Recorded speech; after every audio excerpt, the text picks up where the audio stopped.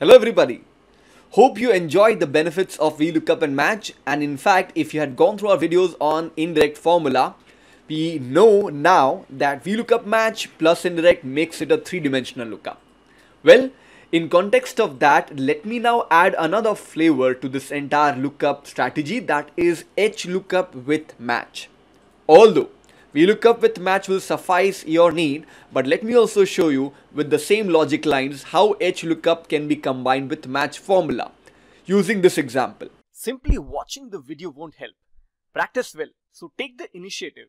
Get access to all my YouTube practice files from the description given below. Now, what I have before me is a sheet from the insurance advisor and life insurance cover amount is provided in column A. So all these are hypothetical amounts. It says in case the age is more than or equal to 0, that means up to 25, these are the premium amount you must pay. For example, if I wish to take a cover of let's say 1 lakh, that is one tenth of a million, and my age happens to be 24, then what is the premium I must pay? I would be paying a premium of 1049 now, in case my age touches 26, in fact, I then should be liable to pay the premium amount in the manner of 1377. So I should be able to get an answer immediately and automatically in this blank cell. So one variable is placed horizontally and that happens to be age and one variable is placed vertically and that happens to be the life cover, the sum insured. So how do I apply H lookup with match?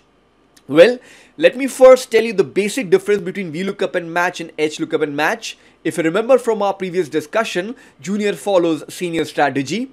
The VLOOKUP covers the entire table and match assists by choosing just the header values and that is a junior. Junior follows senior, right? Now, since VLOOKUP requires column index number, hence we applied match in the header. But HLOOKUP requires row index number and that is the reason we will be putting match formula on the first column of the entire table selection. So HLOOKUP will look up for the entire table array and match will assist HLOOKUP by looking inside this row index number, the first column. Keeping that in mind, let me begin writing HLOOKUP with match formula. Let me expand the entire screen.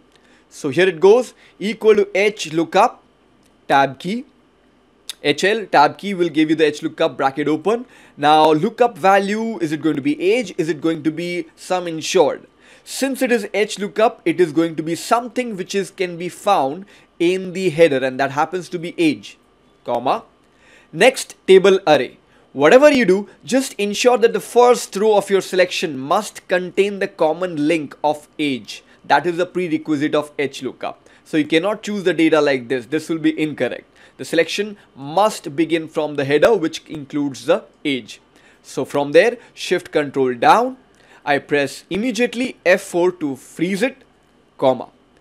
I'll reserve a seat for match, immediately closing a bracket and then comma. Now question is do I put 0 or do I put 1? Since H lookup is looking for 26 and 26 or 29 or 32, whatever that age be, I need an approximate match. And remember from our old discussion, if you have a data based on a slab in ascending order, placed in more than equal to format, you will have to give one and that is what we have done, approximate match with the three conditions. Now let me go to match what I'm going to look for, you're going to look for the sum insured. Why? Because that is what I'm going to find in the vertical placed column. So I look up for the 1 lakh, comma, do I choose from the 50,000 or sum insured? Well, if you remember the junior follows senior principle, you would recommend me that I must choose the cell selection from the word sum insured.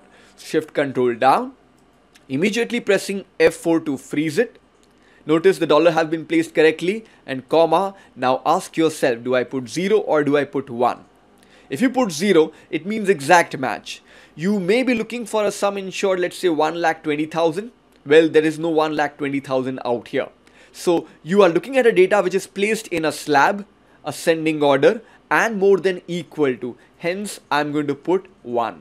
Let me press enter and let's see what it gives me. So as expected, 26 age, 1 lakh cover, 1377.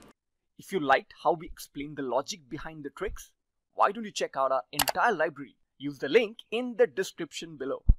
And if I change the age to let's say 35, same cover, but moment I put let's say 36 then notice the premium amount it's going to turn to 1852 so that is how it is working with a slab based data. The slab exists in the age as well as the sum insured.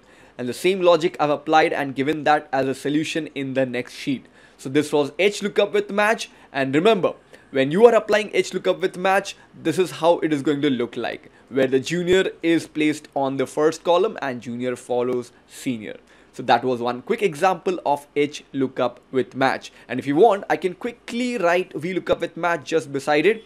So VLOOKUP, look for that variable which is given vertically. So hence I'm choosing not age, which I had chosen in H lookup. I'm choosing the sum insured. That is the variable given vertically, comma I start from the selection first column that is a prerequisite of VLOOKUP. It must contain the common link. Shift control right is the shortcut key which I am using to choose the entire data. Pressing F4, comma, reserving a seat for match and then noticing that the data is in a slab vertically. I'll be putting 1 and match match please look for something that is present horizontally the header so match looks for age 36 comma where junior follows senior and I press F4 comma 0 no it has to be 1 because this is where the slab based data does exist. Enter. So yes you are getting the same answer. Either you apply HLOOKUP with match or VLOOKUP with match. Practice those and hope you enjoy it